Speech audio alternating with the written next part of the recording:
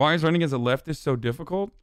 The entire system uh, and and the legitimate Will you be listening to the legitimate entry points to participate in the system revolve around capitalism. Yikes, It's the same concept uh, that is that you see in manufacturing consent, where if you want to rise up up the ranks of the media, for example, the media works as a institution that is supposed to normalize everything that you're experiencing under capitalism, and if the if the media works to defend capitalism, then those who are anti-capitalist are probably not going to rise up the ranks without letting go of their anti-capitalist uh, points of view. Great example of this is, you know, Van Jones, who uh, apparently used to be a radical, uh, or at least worked with some uh, communists, like Maoists. You know, like literal Maoist third world is in San Francisco. Now he's on CNN, and you will never hear a peep about uh, you with that leftist values from him ever. Maoist, uh, Maoist Van Jones and I have the same exact team. Full disclosure at WME, by the way. Be on the lookout of my um my point of view. Well, I was never a fucking Maoist, but you know.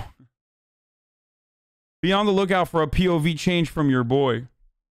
Hey man, just gotta say you've begun looking Yeah, increasingly ditty cinema too. Sinema. Kristen Sinema was like, I mean, these people are like, you know, gutter punk, crusty anarchist, or like America KKK uh, uh, type leftist though. Like they were, they were way more aggro than me. They were like cranks, months. I, I would say. And some of you are here in my audience, and some of you have uh, crank-like points of view too. But you know, Hi.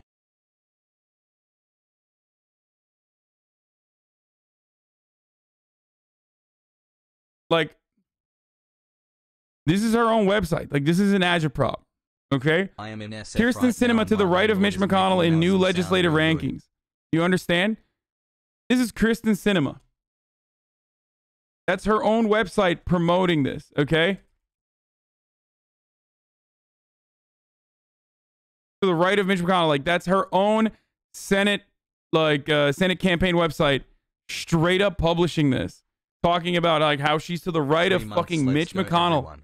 Does anyone have any links of her old days though? She was like Occupy Wall Street. Like she she used to be like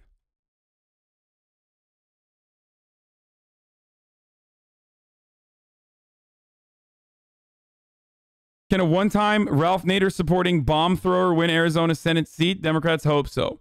Representative Kristen Sinema, the likely nominee, is trying to transform herself into a conservative Democrat by being a semi-reliable supporter of the president.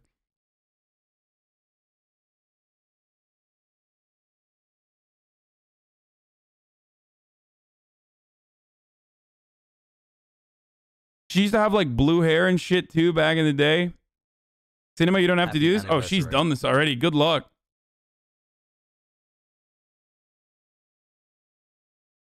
First openly bisexual member of Congress. First member to list their religion as none.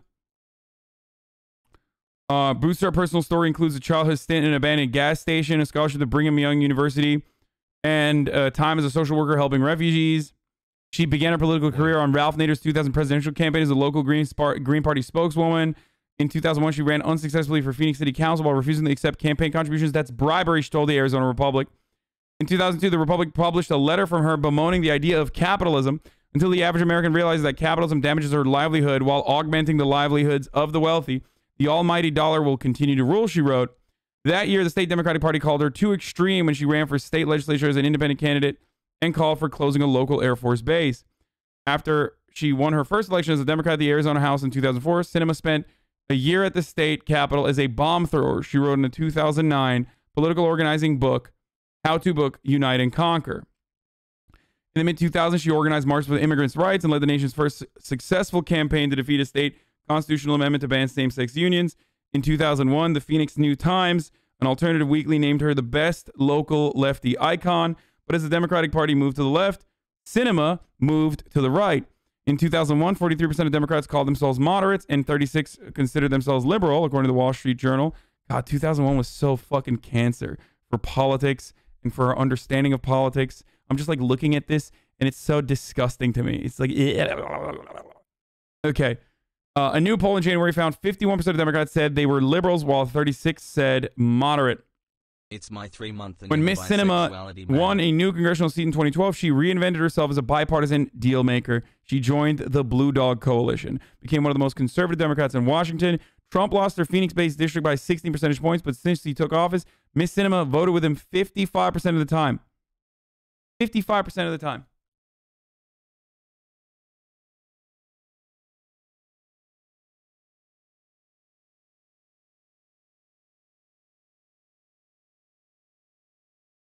Check out the McSally ad on Sinemas Tutu. I was deployed to the Middle East, led airstrikes against the. It's so funny. God, Martha McSally is a babe. I'm sorry. Um, God damn, or was, but it, it's funny because like Arizona Senate seat, like she lost, uh, barely, but she lost to Kyrsten Sinema, right? And and the hilarity here is like Taliban and was the first woman to fly a fighter jet in combat. I know the price of freedom. While we Let me ask you something. We're gonna watch this ad from Martha McSally, and then I'm gonna show you another ad, okay? And you tell me who's a Democrat and who's a fucking uh, Republican were in harm's way in uniform, Kyrsten Sinema was protesting us in a pink tutu and denigrating our service. The world is a dangerous place. We need strong leaders who understand the threat and respect our troops. Kyrsten Sinema fails the test. I'm Martha McSally, and I approve this message. Felix from Chapo has talked about this before, where he's like, people don't give a shit about veterans like this. Like, they don't.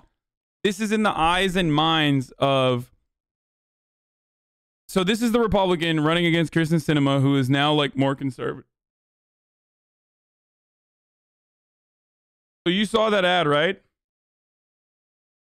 Let's take a look at this.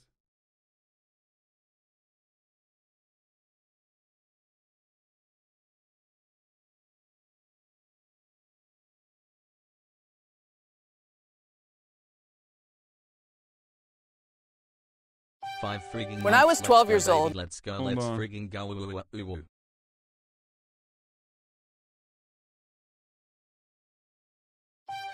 When I was 12 years old, I knew exactly what I wanted to do when I grew up. I wanted to fly fighter jets and land on aircraft carriers because that's the toughest flying you can do. When I was 13, my congressman told me I couldn't fly in combat. He said Congress thought women ought to be protected and not allowed to serve in combat. Asshole. I never got a letter back from my Senator Mitch McConnell. I then wrote every member of the House and Senate Armed Services Committees asking them to change the law. I said they just hadn't met me yet. What sucks about this is like, why is it that like the feminism that we manifest is through uh, people being like, I need to go fucking bomb villages in Afghanistan? By the way, notice how the ad is literally the same. Like, this is the same ad, same fucking fuchsia uh, filter. Like walking in front of jet, uh, walking on a jet carrier or walking in front of a fighter jet, talking about how like I'll bomb the fuck out of villages. You understand me? Um, one is in Arizona, the other one's in Kentucky. So the the the thing that really hurts my fucking soul is that I know there's going to be more like Charlotte Clymers, for example, when trans rights are fought for, okay, and and they should be fought for. I know that eventually we're gonna have like a trans Democrat, okay, that literally talks about how like, well, I I joined the military and I fucked shit up, and you know I'm I'm trans, but you know Donald Trump tried to take it away from me, and they shouldn't because it's disgusting that uh, you know the trans military ban is disgusting, unconstitutional, ridiculous, it sucks that the only time there's like progress made, even if it's like symbolic or if it's legitimate progress being made, it's on the virtue of like being able to fucking bomb kids in in uh Middle East. That sucks. It literally sucks. And I already know that there is going to be if the Democratic Party continues their fucking uh you know, we are conservative, we are a part of the military. Hoorah! Fuck yeah, we are the real veterans, we are the real patriots, bitch. Like those Republicans are pussies. We'll kill more people than you. Fuck you like the more that they do that, you know that there's going to be uh, like a trans oh, wow. person like the next five to ten years which does imply progress in some way. That's like I fought for my rights and I fucking you know I ended lives. that sucks. And I knew I could do it, but most of them told me I couldn't. Then I got into the Naval Academy. Chelsea Manning. Okay, This shut the clip is fuck up. good. Chelsea Manning would never in a fucking million. First of all, she is a Haas buff gamer watcher. Okay, in this community, she would never in a fucking. She's literally regarded as a you, as an enemy of the state. Uh, I love her for that. I mean, she is brave and a whistleblower and literally got tortured. She's a national fucking hero and would never, ever in a million years do that shit. Imagine, like, no, never do that. and wouldn't you Especially because she's Haas buff.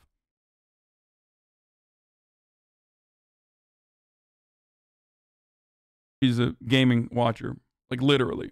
You know, that's when they changed the law. I'm Amy McGrath, and I love our country. I spent 20 years as a U.S. Marine, flew 89 combat missions bombing Al Qaeda and the Taliban. I was the first You're woman proud Marine to fly in an F 18 in combat, and I got to land on aircraft carriers. Now I'm running for Congress against Andy Barr in my home state of Kentucky. He's Mitch McConnell's handpicked congressman who said he would vote enthusiastically to take health care away from over a quarter million Kentuckians. Mr. Barr, my mom is a polio survivor who became one of the first women to graduate from UK medical school. A lot of people told her she couldn't achieve her dreams either, but she persevered and ended up treating many of the same kind of people whose health care you and Mr. McConnell would take away. This is my new mission to take on a Congress full of career politicians who treat the people of Kentucky like they're disposable. Some are telling me a Democrat can't win that battle in Kentucky, that we can't take back our country for my kids and yours. We'll see about that. Yeah, it just sucks that like it just sucks that the only expression of feminism or like advocacy for women's rights in the Democratic Party revolve around the dignity of work of being able to fucking uh you know fly a fighter jet. And fighter jets are fucking cool. Like they Smile are. face. But we all know what they do. Okay?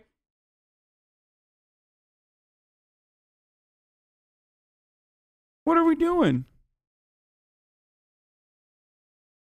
What are we doing? Bragging about the numbers she put up in Iraq, weird champ? Yeah. Like, I'm sorry, but Been watching you stream for I know. while, Look, I have a lot of active duty uh, uh, members in this community. I have a lot of with a few veterans in this community. But you gotta fucking be critical of what you you're doing content. right now, and you got to be critical of your service. It's a really fucking hard. It's a really hard thing to admit, but like American imperialism hurts you. It hurts the rest of the world, and there are plenty of there are plenty of veterans in my community that are aware of that. Those who have served, those who have uh, been active duty, those who have gone on tour, Thanks to uh, those who've seen uh, hella combat, and and like when you talk about the valiance or when you talk about your fucking KD, like that shit sucks. It really does because it is a, another continuation of American imperialism and a justification of American imperialism from what is supposed to be the left, right? The Democratic Party. Like we've completely, we've completely let go of that mentality. We've completely just dropped. Like there used to be a robust anti-war movement in this country. It's gone. 9/11 eradicated that. Okay? 9/11 just eradicated the the uh the the anti-imperialist movement in this country. Democrats don't fucking uh, agitate against war anymore. It's insane to me. Not only do they not agitate against war, they agitate for more war. And I've talked about this before, like the ad- the adoption of like militaristic rhetoric or uh, or militant rhetoric against like Russia and other countries. That's not supposed to be the Democrat way. It's not. You can't do that. Like you're not supposed to do that. Democrats are supposed to say, no, what are we doing? We're not supposed to go to fucking war. Democrats are not supposed to go on Rachel Maddow and be like, it's fucking poggers uh, when we, you know, uh, do military activities uh, in the in the region where uh, in North Korea is just to do a show of force. Like that's not that's not what Democrats are supposed to advocate for. Like using foreign adversaries following since the by greatly protests. Thank you for exaggerating their power uh, to to our further continue our imperialist endeavors is what Republicans are supposed to do, and Democrats are supposed to go against that by pointing out the flaws in that argument. And yet we don't do that anymore. And it fucking blows my mind. It pisses me off. It's yet another instance where uh, the Democrats have become Republicans, like very similar to Kyrsten Republicans. Sinema was At protesting thanks for getting me our the service. The world is a radicalization. dangerous Especially because It like really it is a doesn't matter. you. You could personally fucking execute uh, a, a an ISIS prisoner on camera. Okay, Three months of being a true leftist. you can photo. personally execute an ISIS prisoner on camera, and the Republicans are still gonna be like, "Shut up, you're a pussy. You wore you wore a tutu." Okay, that's not how this works. Like they already own patriotism. You do not, and you will never own patriotism. They've already redefined it. And if you're gonna try to redefine patriotism, don't redefine it on their fucking terms. Here. Kyrsten Sinema has the phony politician act down. She wants you to believe she's a moderate, but she's just a professional politician. Before Sinema went to Washington, she was a radical fringe protester. In 2002, the Arizona Democratic Party said she was, quote, too extreme. Sinema even called herself a socialist. That's right, a socialist. Radical, extreme, socialist. Don't fall for Kyrsten Sinema's act. NRSC is responsible for the content of this advertising.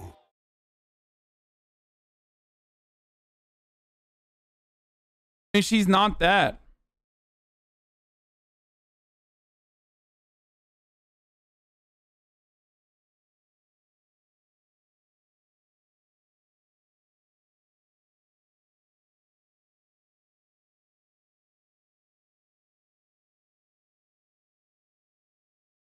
Because her name sounds like cinema chap. Better dead than red, brother. Exactly. Voting with Trump 50% of the time is a true sign of socialist? Yeah.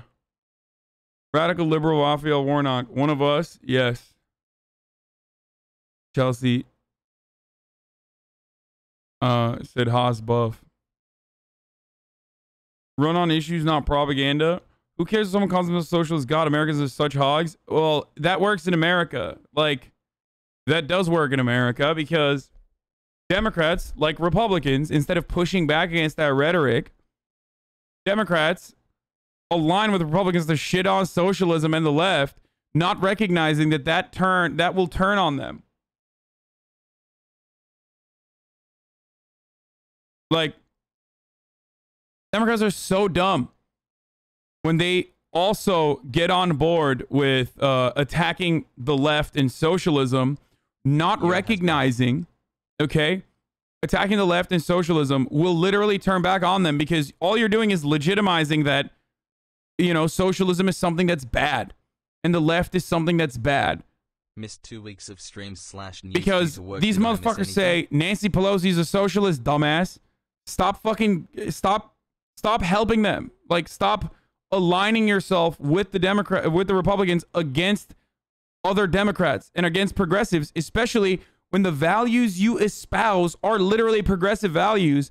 And in the eyes of the average American, in the eyes of the average American hog, there's no difference between your like incrementalist approach and full blown fucking seizing the means of production. You get that, right? No matter how much you describe that, no matter how much you try to say, well, no, we're actually oper- uh, we're actually trying to advocate for free market solutions and you know uh, tax credits and whatnot. It's like, no, dude, no, they don't care. That's socialism. It's wealth redistribution. It's socialism. So stop arguing on those terms. Stop arguing on the terms of your opposition and start saying, no, this is bullshit. They call everything socialist. Guess what? A lot of the stuff that's socialism is actually good. So shut the fuck up.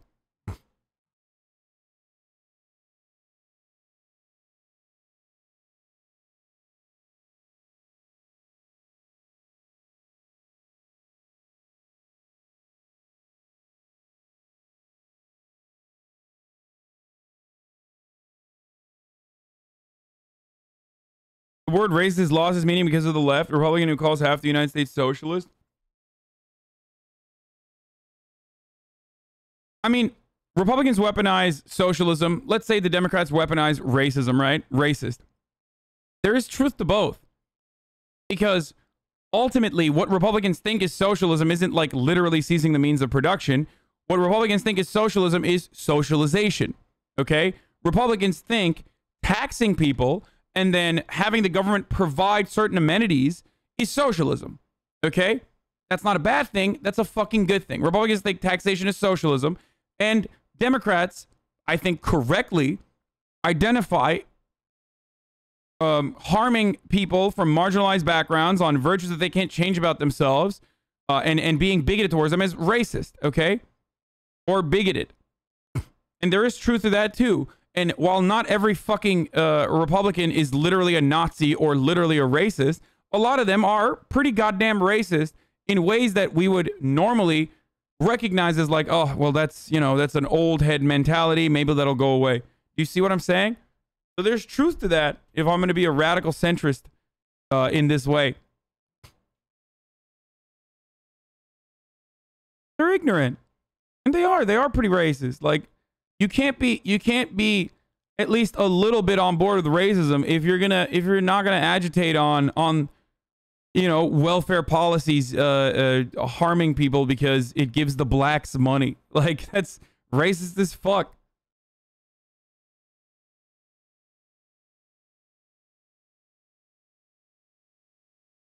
if so many Americans want socialism that win in a fair democratic election, simply it's mean it's time to try socialism if it were people wanted.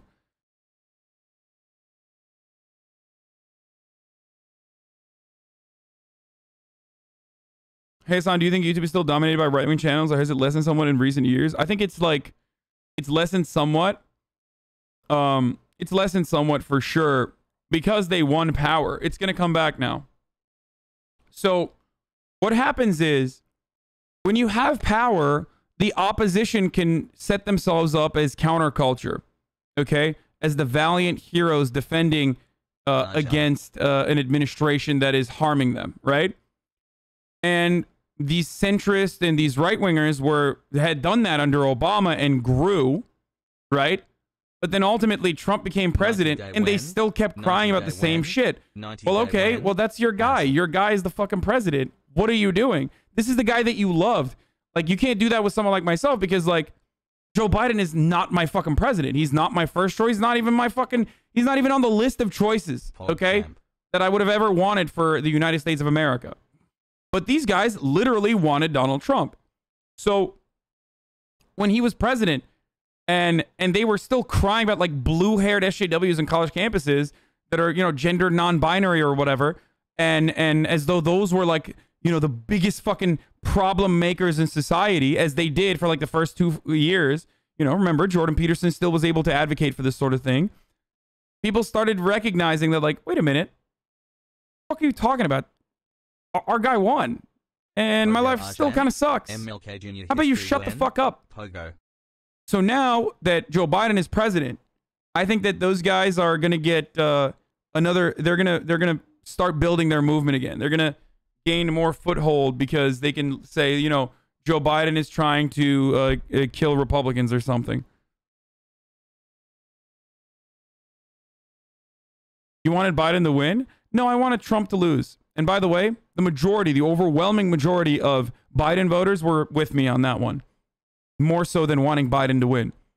People that wanted Biden to win on the virtue of just Biden winning are in the minority. People that wanted Trump to lose were in the majority. 65 plus percent of Joe Biden voters literally voted against Donald Trump, whereas more than 70% of Trump voters voted for Donald Trump. Well That's the big difference.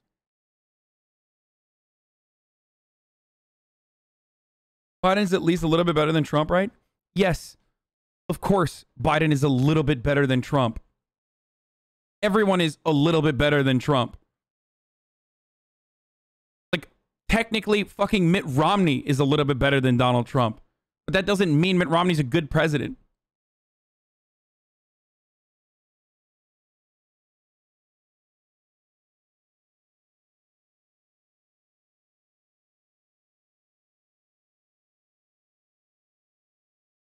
Biden wasn't the only option we had. Biden was the Biden was presented as the only option we had.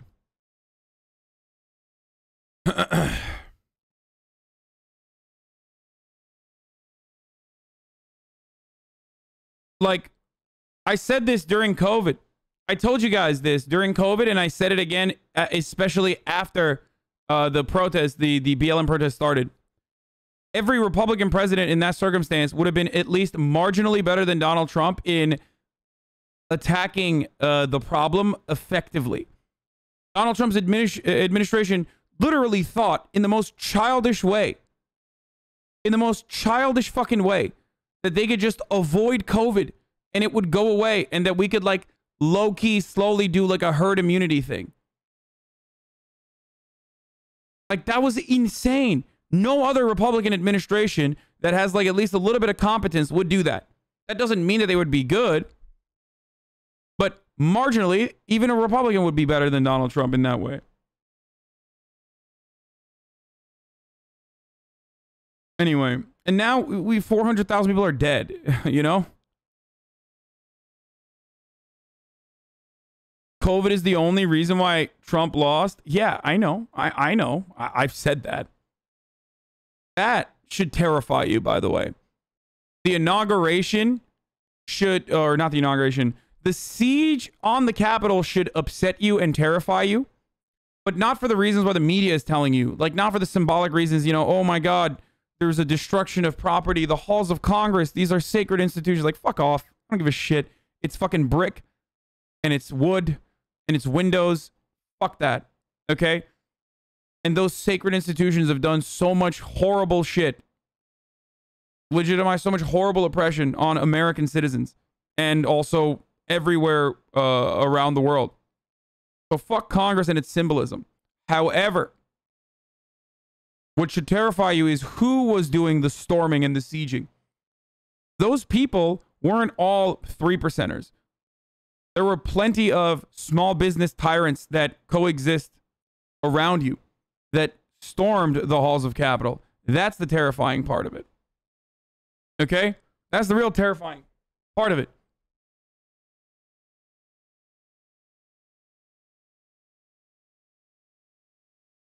The fact that uh, the Republican base is finally starting to take more serious action after years and years of being agitated and being emboldened. That should be terrifying for you.